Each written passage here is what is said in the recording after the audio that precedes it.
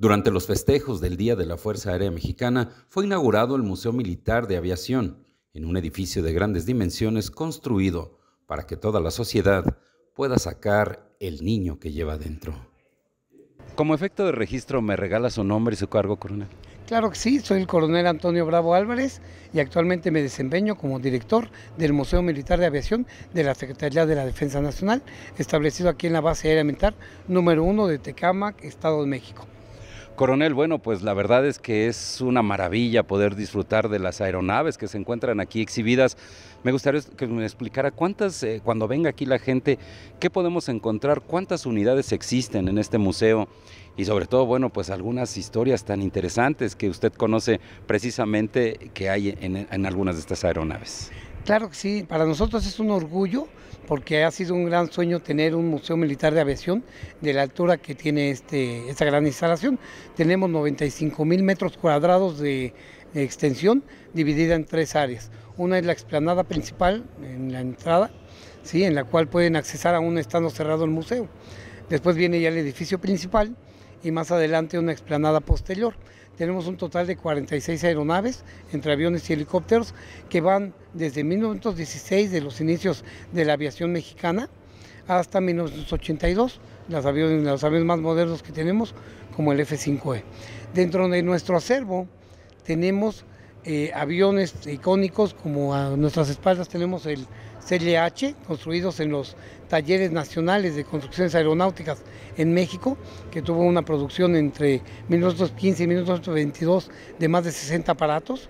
Tenemos aviones simpáticos como el avión Pinocho, un avión artesanal que hizo un joven mexicano, Miguel Carrillo Ayala, de Agostitán, Michoacán, en el año de 1936, y el cual representa, es un avión artesanal, pero que representa un ejemplo de tesón, de determinación y de pasión y cariño por la aviación. Y nosotros contamos aquí con 12 salas de exhibición, en las cuales se describen distintos capítulos de la historia de la Fuerza Aérea. Aquí nuestra misión como museo, como recinto cultural, es rescatar, conservar, restaurar y difundir la cultura aeronáutica militar mexicana. ¿Y eso ah, cómo lo vamos a hacer? Precisamente difundiendo la historia de cada una de estas aeronaves. Coronel Bravo, nosotros siempre muy agradecidos por la oportunidad que nos ha brindado en este sentido de abrirnos las puertas en exclusiva pero sabemos que también hay miles de niños, de personas de la tercera edad que pueden venir. ¿Cómo es el requisito? ¿Cuánto cuesta? ¿Es gratis? ¿El horario que usted nos pueda orientar sobre esa situación? Claro que sí. Nosotros estamos abiertos de martes a domingo, de 9 de la mañana a 4 de la tarde. Los lunes, al igual que todos los museos del país, cerramos para efectos de mantenimiento y conservación de nuestro acervo. Aquí el lema del museo es saquen al niño que, que todos llevamos dentro, aquí sí se vale y sí se puede.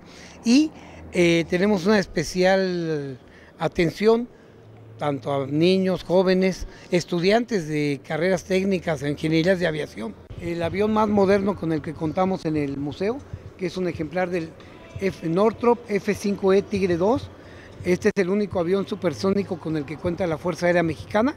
Es un avión de superioridad aérea y con el cual eh, llevamos a cabo la defensa y patrullaje del espacio aéreo nacional. Y este año cumplen 40 años de servicio. Tenemos también una de las joyas de la corona, es el avión Republic P-47D Thunderbolt de la Segunda Guerra Mundial y que este fue el avión que equipó al Escuadrón 201 de la Fuerza Aérea Expedicionaria Mexicana que participó en la liberación de las Islas Filipinas durante la Segunda Guerra Mundial. Aquí el museo eh, tiene una función esencialmente educativa. Y a nosotros nos enorgullece que vengan niños, jóvenes, damas, mamás con sus hijos y vengan y aprendan de la historia de la Fuerza Aérea que ya lleva 107 años de existencia. Entonces, aquí hay muchos capítulos, por ejemplo, tenemos uno de los aviones más icónicos de la historia de la Fuerza Aérea, que es el Lockheed T-33. Este avión llegaron en el año 1961 y en el año 2006 cumplieron 45 años de servicio. ¿sí? Equipó cuatro escuadrones de la Fuerza Aérea, el último de ellos el Escuadrón Aéreo 402, destacado en la base aérea militar número 2 de Ciudad de Estepe, Oaxaca. Tenemos más allá también un avión North American AT-6, Texan o Tejano, es de construcción norteamericana y es de la época de la Segunda Guerra Mundial. Este avión es el avión que en mayor número ha tenido la Fuerza Aérea Mexicana, porque tuvimos a partir del año 1942, tuvimos 139 ejemplares. ¿sí?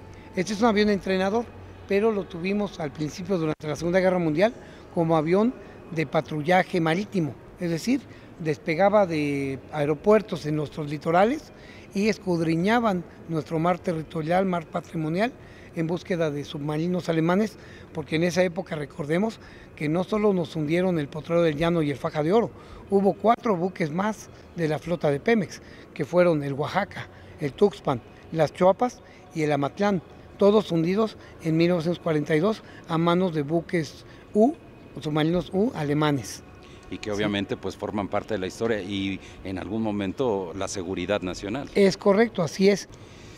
Pues caray, coronel Bravo, realmente es una historia, una cápsula en el tiempo que pues todos nuestros amigos y la sociedad en general puede venir a visitar aquí precisamente en, este sitio en donde pueden encontrar aeronaves, helicópteros y sobre todo gente talentosa, amable, que se sabe la historia y que evidentemente es un legado para toda la nación y la sociedad mexicana. Coronel, ¿algo más que desea agregar? Deseo comentarles que aquí el museo es un centro de entretenimiento porque tenemos 12 salas de exhibición permanentes, 4 de exhibiciones transitorias, tenemos una torre de control didáctica, tenemos una ludoteca, tenemos una biblioteca también, tenemos una cafetería, tenemos dos auditorios con capacidad de 80 personas y tenemos también una eh, tienda de souvenirs, de eh, objetos alusivos a la historia de la aviación.